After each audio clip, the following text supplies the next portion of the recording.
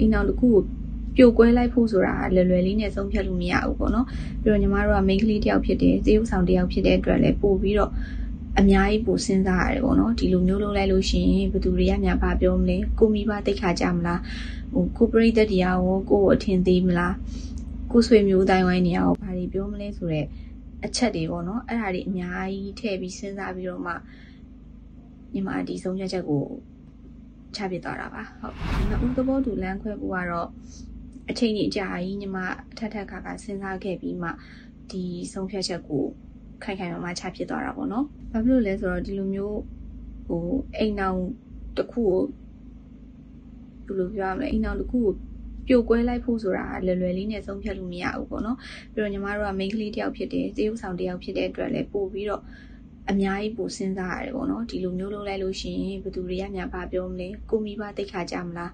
ဟိုကိုပရိသတ်တရားရောကိုအထင်သေးမလားကိုဆွေမျိုးတိုင်းဝိုင်းနေရောဘာတွေပြောမလဲဆိုတော့အချက်တွေပေါ့နော်အဲ့ဒါတွေအများကြီးထည့်ပြီးစဉ်းစားပြီးတော့မှ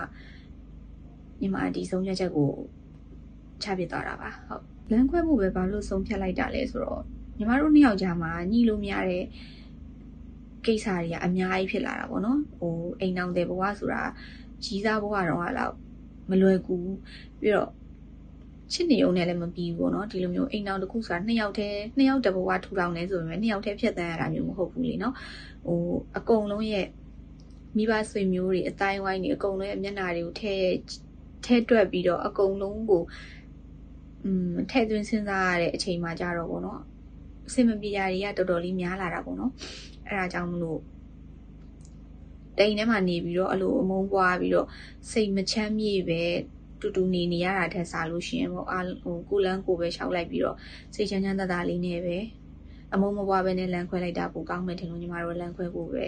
ရွေးချယ်လိုက်တာပါညီမဘာတွေပြင်ဆင်လဲဆိုတော့ကိုကိုကိုပဲပို့ပြီးတော့တန်မာအောင်ကိုစိတ်ကိုပို့ပြီးတော့စိတ်သက်ကြန့်ခိုင်နေသူတယောက်ဖြစ်အောင်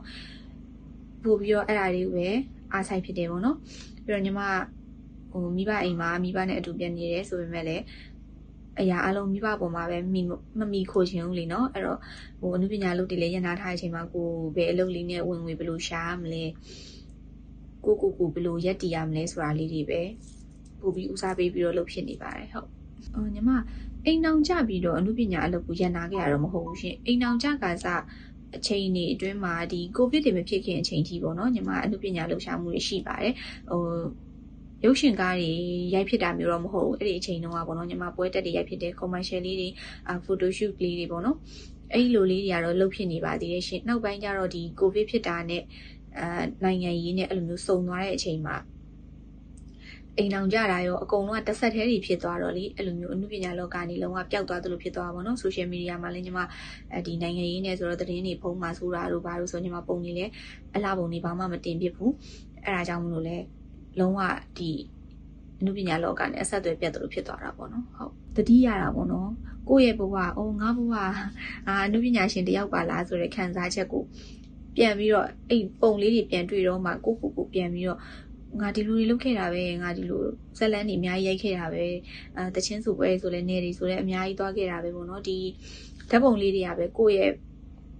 lifestyle လေးကိုကိုပြန်ပြီးတော့အမှတ်ရစရာပေါ့နော်တဖြည်းဖြည်းနဲ့ဒီတစ်နှစ်နှစ်နှစ်ဆိုတဲ့အချိန်မှာလုံးဝအနုပညာလောကနဲ့အဆက်အသွယ်ပြတ်သွားတော့လေတခါလေးကျရင်ကိုကိုကိုအနုပညာရှင်ဆိုတာကိုမေ့နေရပါတော့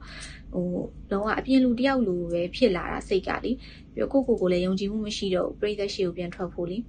အဲ့လိုမျိုးဆိုတော့အရင်တော့ကပုံလေးတွေအဟောင်းလေးတွေပေါ့နော် Facebook မှာတင်ထားတဲ့ပုံတွေပဲဖြစ်ဖြစ်အဲ့လိုတယောက်ယောက်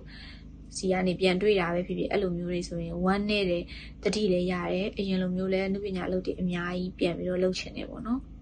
ကျမအနုပညာမောင်နှမတွေနဲ့အဆက်အသွယ်တွေလည်းမရှိဘူးအကုန်လုံးနဲ့လည်းအဆက်အသွယ်ပြန်တယ်ဘာလို့ဆိုတော့အဓိကအနုပညာရှင်တွေနဲ့လည်းအဆက်အသွယ်လုပ်ဖြစ်တာဒီ Facebook ပဲရှိအောင်တော့တယောက်တင်တဲ့ပုံလေးမှာတယောက်သေးလေးတွေပေးလိုက် comment လေးတွေပေးလိုက်အဲ့လိုမျိုးနဲ့ပဲအဆက်အသွယ်မပြတ်ရှိကြတာဆိုတော့ကျမကလုံးဝဒီ Facebook ကြီးကိုလုံးဝရက်ချလိုက်တာလုံးဝ ဘာမှလည်းမတင်ပြတော့တဲ့အချိန်မှာကျတော့အကုန်လုံးနဲ့အဆက်အသွယ်တွေပြတ်ကုန်တာပေါ့နော်အခုဒီရက်ပိုင်းလောက်ပဲရှိသေးတာပေါ့တေချာလေးအဲပြန်သုံးပြတဲ့အချိန်ကျတော့အကုန်လုံးဟဲချမ်းပြီပြန်ပေါ်လာပြီပြန်သုံးပြီလား Facebook ပြန်သုံးပြီလားအဲ့လိုမျိုးလေးတွေပေါ့နော်စကားတွေပြောကြတော့လေဝမ်းသာရတယ်ပေါ့အကုန်လုံးအဲကိုယ်အခင်းမမပြည့်ရှိနေပြီကြတယ်ဆိုပြီးတော့လေကြည်နူးရပါတယ်ဟုတ်ကျေးဇူးလည်းတင်ပါတယ်ချမ်းမြေကလက်ရှိဘာတွေလုပ်ဖြစ်နေလဲဆိုလက်ရှိကတော့မိသားစုစီပွားရေးဝိုင်းကူတယ်အဲချမ်းမြေအိမ်က စီးပွားရေးဖြစ်တဲ့ဒီဖက်နက်လုပ်ငန်းပေါ့နော်အဲ့ဒီလုပ်ငန်းမှာပဲအဲဝိုင်းပြီးတော့တတက်တအားဖို့ကိုတက်နိုင်တဲ့ဘက်ကနေပြီးတော့ဝိုင်းကူပေးတယ်ပေါ့နော်အိမ်မကိစ္စလေးဝိုင်းလုပ်ပေးရဲ့ဒီလောက်ပဲပေါ့ကိုကတော့အများကြီးလည်းမလုပ်တတ်ဘူးဆိုတော့လေအဲ့ဒါလေးပဲဝိုင်းကူဖြစ်တာပါဟုတ်အဲ question စာချုပ်တင်လိုက်တဲ့အချိန်မှာဝိုင်းပြီးတော့ဖေးမအားပေးကြရတဲ့အတွက်လေတကယ်ဝမ်းသာပါတယ်ဟိုဘလို့ပဲဖြစ်ဖြစ်ဆုံးဖြတ်ချက်တစ်ခုချပြီးသွားပြီဘလို့ပဲဖြစ်ဖြစ်ချမ်းမြေစိတ်ချမ်းသာဖို့အဓိကပဲ လူကတူတူလေးပေါ့နော်စိတ်ချမ်းသာအောင်မင်းဒီအာအရာအလုံးအကောင်းမှုဖြစ်လာတာအဲ့ဒီ comment လေးတွေကလေတကယ်ကိုပဲနှွေးထွေးစေတယ်ရင်ထဲမှာနှွေးထွေးပြီးတော့အားရှိစေတယ်ပေါ့နော်ဘာလို့လဲဆိုတော့ဒီအဲ့ question စာချုပ်ကတော့မှချမ်းမြေတရားရုံးမှာလက်မှတ်ထိုးပြီးတော့ချက်ချင်းမတင်ပြဘူးလေအချိန်စောင့်နေရပါတော့ဘာလို့ဆိုတင်ရမလားမတင်ရဘူးလားဟို ကိုကြောင့်မလို့ပဲအနောက်ရှက်ဖြစ်သွားမလားလိုင်းပေါ်မှာတင်လိုက်လို့ရှင်ပေါ့နော်အဲ့လိုမျိုးအချိန်ကြီးစဉ်းစားဒါပေမဲ့လည်းအော်ငါမအတိမပေးရင်လည်းပြိသက်တွေအတိမှာမဟုတ်ဘူးဒီလိုပဲအဆင်ပြေနေရပဲထင်ကြမှာပေါ့နော်ပြီးလို့ရှင်လည်းသူနဲ့တွဲပြီးတော့မြင်နေကြအောင်မေလီကိုအတိပေးမှလည်းတိကြမှာဆိုပြီးတော့အဲ caption လေးတောင်မှပဲဒီလိုမျိုးပဲအတိပေးရနေနေပဲတင်တာပါဆိုပြီးတော့တင်ပြသွားတာပေါ့နော်ဘုသူ့မှာလည်းစိတ်တော့ကလည်းမဖြစ်စေချင်ဘူးကိုကြောင့်လည်းစိတ်အနှောက်အယှက်လည်းမဖြစ်စေချင်ဘူးအဲ့ဒါကြောင့်မလို့အတိုင်းလေးပဲယူယူလေးပဲရေးပြီးတင်လိုက်တာပါဟို အပြစ်မပြောကြဘဲနဲ့ဝိုင်းပြီးတော့လေအဲ့လိုမျိုးနွေးနွေးထွေးထွေးအားပေးကြရတဲ့အတွက်လည်းအားလုံးကိုလည်းအများကြီးကျေးဇူးတင်ပါတယ်အရင်လည်းချစ်ပါတယ်လို့အကုန်လုံးဟုတ်ဘိုးလူပညာစလုပ်ကြရပါမှဟိုဘယ်လိုပြောရမလဲရေးရရတရုံမဆောင်ရသေးခင်ဟိုတက်တစ္ဆလေးဘွားကြရနေမှာနည်းနည်းလေးနေရာလေးတွေရလာတယ်အမင်းသားညီမလေးတွေအပြိုင်ကန်းလေးတွေအဲ့လိုမျိုးလေးပေါ့နော်ရုပ်ရှင်ကားကြီးတွေမှာချမ်းမြေ နေရာလေးတွေရလာတယ်အဲ့လိုမျိုးတွေအထိပေါ့အခုအခုချိန်ထိပါပေါ့နော်အခုချိန်ထိချမ်းမြေအပြင်သွားလို့ရှိရင်ဟဲ့ဟိုမှာမင်းသမီးလေးအဲ့တရုပ်ဆောင်လေးအဲ့လိုမျိုးလေးတွေပေါ့နော်ကိုယ်မှတ်မိနေပြီးကြားရတဲ့အတွက်လေဟိုမပြောတော့ပီတိလေးဖြစ်တယ်ပေါ့နော်ဝမ်းသာတာပေါ့နော်တချို့ကကြလည်းချမ်းမြေကိုနာမည်မသိပေမဲ့မျက်နှာမြင်လိုက်တာနဲ့အဲ့အမတရုပ်ဆောင်လေးဟိုဘယ်ကားထဲမှာကြည့်ဘူးလေနာမည်မိနေလို့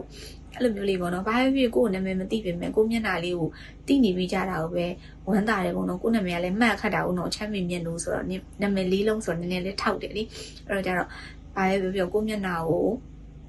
မှတ်ထားပြီးပြီးတော့ကိုသိနေပြီးရအောင်ပဲကျေးဇူးတင်ပါတယ်လို့ရှေ့လျှောက်လဲချမ်းမြေအာအရာအားလုံးပေါ့နော်ပုံမှန်ပြန်လည်ပတ်တဲ့အချိန်အခွင့်အရေးပေးလာလို့ရှင်လည်းချမ်းမြေအနုပညာလုပ်လေးလည်းပြန်လုပ်ချင်ပါတယ်ဟိုလောက်ခွင့်ရလာတဲ့အချိန်ကျရင်လည်းပြည်သက်ရှိကိုပြန်ရောက်လာခဲ့လို့ရှင်လည်းအားပေးပါအောင်လို့